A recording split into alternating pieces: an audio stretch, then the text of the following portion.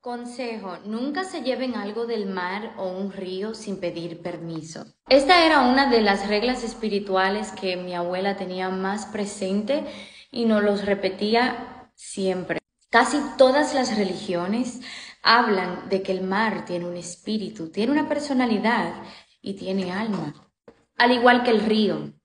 Eso aparece en la, religión hindú, en la religión eh, judía, en la Kabbalah lo hablan, de que el mar, eh, el agua, el río tiene alma. Eh, también la religión yoruba, creo que se llama Yamaya, el espíritu que es que maneja las aguas.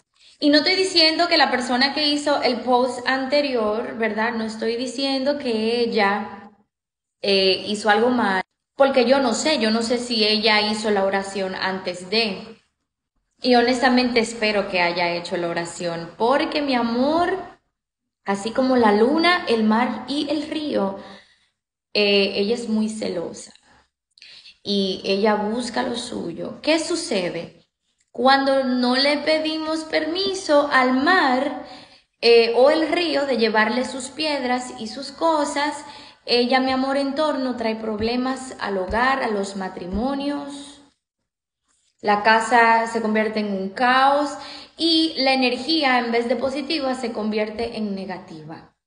Así que no es que no se la puedan llevar, es que tienen que pedirle permiso con mucho respeto primero al agua.